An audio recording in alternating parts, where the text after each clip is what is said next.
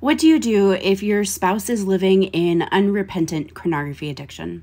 Hi, I'm Angela, the Christian Sexpert. Friend, I am so sorry that you are facing this situation. Um, the first thing that you need to do is get yourself into therapy so that you can figure out what your boundaries are. Boundaries are not about controlling the other person's behavior, boundaries are about what you are willing to live with. So, are you willing to continue living in the same house with a person who is not seeking treatment for any sort of addiction, pornography or otherwise?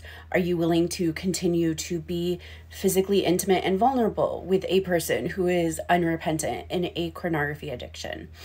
Um, I can't answer those questions for you. You need to answer them for yourself, preferably with the help of a therapist.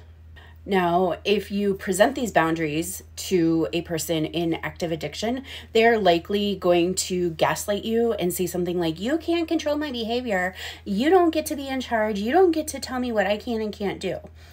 You aren't. You I like they are free to choose their addiction, but you are free to say, I'm not willing to live in this situation. You can choose your addiction. Absolutely I will be removing myself from the equation, though. And it's not about controlling them at all. It is giving them the freedom of choice and letting them know where you will be. I also highly recommend joining Al Anon, or there is a sister group type situation for um, spouses of sex addicts. Um, you can find that online. I should probably link those. Um, I'll link it here. Bottom line is you need support to walk through this while you make your choices.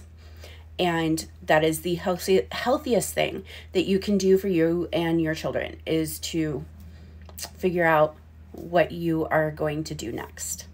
I am so sorry that you are facing this, but know that there is hope no matter what the outcome is.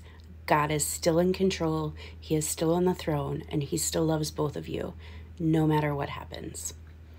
God bless you, my friend.